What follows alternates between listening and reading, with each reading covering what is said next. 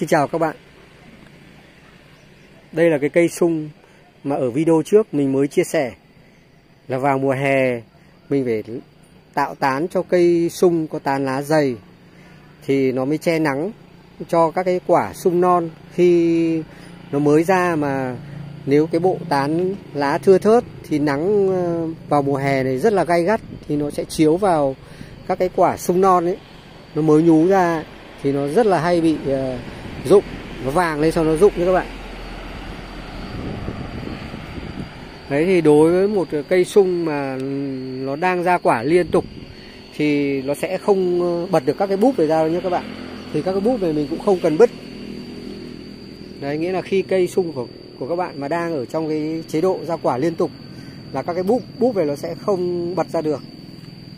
Nó chỉ nằm in ở cái vị vị trí như thế này thôi các bạn thế nếu mà có đợt nào mà có mưa nhiều, với cả mình bổ sung thêm phân thì nó mới bật ra một chút thôi.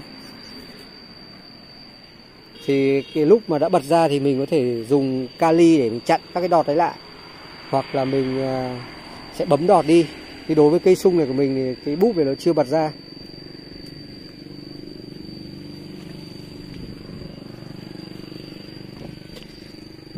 Đây thì cây sung mà hôm trước cái video trước ấy, cái quả nó ra vẫn còn nhỏ li ti các bạn. Thì hôm nay nó đã ra to như này rồi. Đấy thì do nó mưa nhiều ấy. ngày nó mưa mấy đợt xong nó lại nắng bừng lên thì là nó có một số các cái quả quả nhỏ nó cũng bị vàng ấy. Là nó nó cũng rụng như các bạn. Các quả nhỏ này nó sẽ rụng không đậu được. Thế nhưng mà cái tỷ lệ mà bị vàng nó rất là ít. Lác đác thôi. Lác đác số lượng rất, rất là ít còn số lượng quả to nó mọc lên thì là vẫn vẫn nhiều cho các bạn vẫn sai. Đây.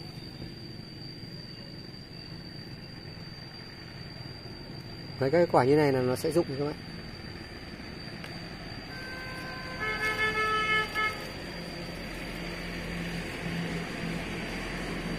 Đây nó có cả một cái chùm mọc ngay sát sát đất như các bạn. Đấy thì ờ, đối với một cây sung mà khi đang ra quả liên tục thì mình sẽ quan sát nhìn vào cái bộ lá của nó. Nếu bộ lá của nó vẫn có màu xanh thì mình chưa cần phải bón phân, bón phân gì hết các bạn thì cây nó vẫn đủ chất dinh dưỡng. Nghĩa là khi cái bộ ờ, tán lá của cây sung khi nó đã già như này mà nó vẫn có màu xanh nghĩa là cây nó vẫn còn đủ chất dinh dưỡng thì mình ờ, chỉ cần ờ, đáp ứng đủ nhu cầu phân trong từng giai đoạn cho cây sung là nó sẽ ra quả liên tục và nó sẽ sai quả và quả nó sẽ to đẹp nhé các bạn.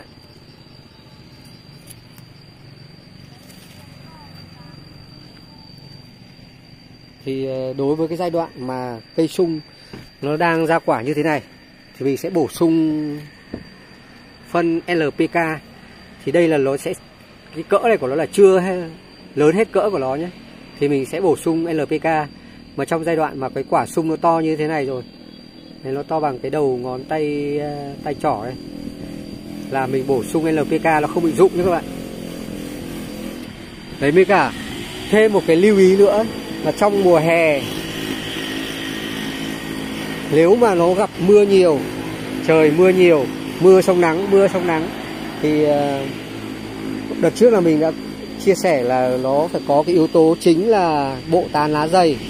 Và thêm một yếu tố nữa là trong thời kỳ mà cây sung đang ra quả non, khi quả còn nhỏ li ti, thì các bạn tuyệt đối không bón một loại phân gì hết. Thì nó sẽ hạn chế cái hiện tượng là quả sung bị chín sớm và rụng. Rụng sớm nhé các bạn. Thì trong các cái giai đoạn mà khi trời nắng mà mưa liên tục như thế này thì mình ờ, cái thời gian mà nó ra quả non ấy, khi quả nó nhỏ tí tí như thế này bé như thế này bé bằng hạt hạt đỗ hạt gạo ấy là mình tuyệt đối không dùng một loại phân gì hết.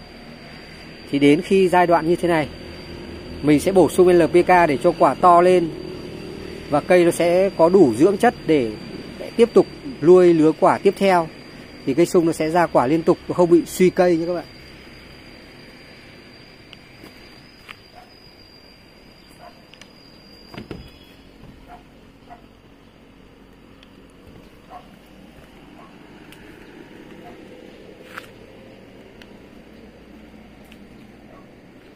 Đấy thì bây giờ mình sẽ bón phân NPK cho các bạn xem cách mình bón như thế nào nhé.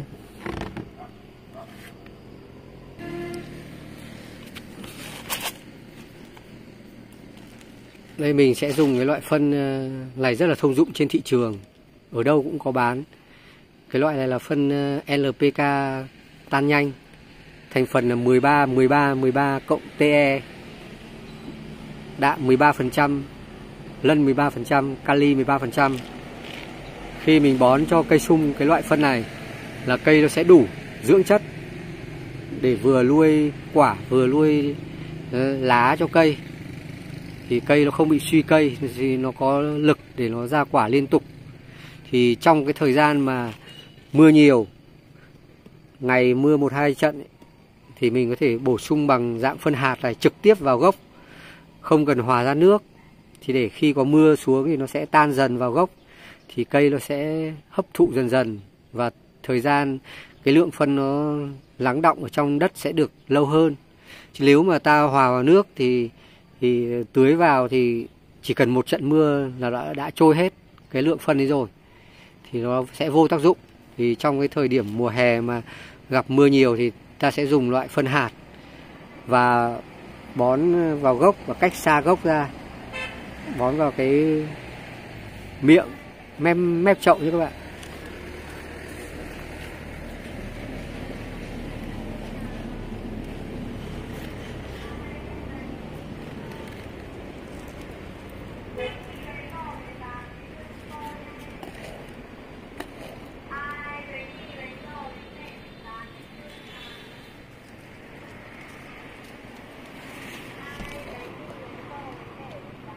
Mình sẽ dùng ba cái thìa này vơi. Thìa này vơi thì nó vào khoảng 15 gram nha các bạn. 15 gram.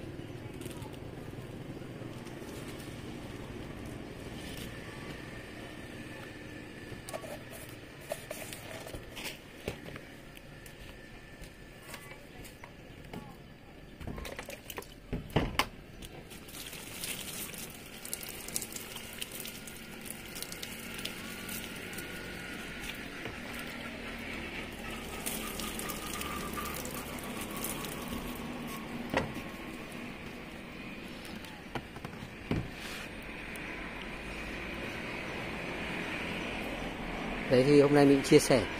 Xong cái việc mà bón NPK cho cây sung vào cái giai đoạn mà mưa nắng thất thường. Đến đây mình xin tạm dừng video. Các bạn xem thấy hay, có hữu ích, nhớ like và chia sẻ. Bạn nào chưa đăng ký kênh, nhớ đăng ký kênh để nhận được những video sớm nhất. Xin chào và hẹn gặp lại các bạn.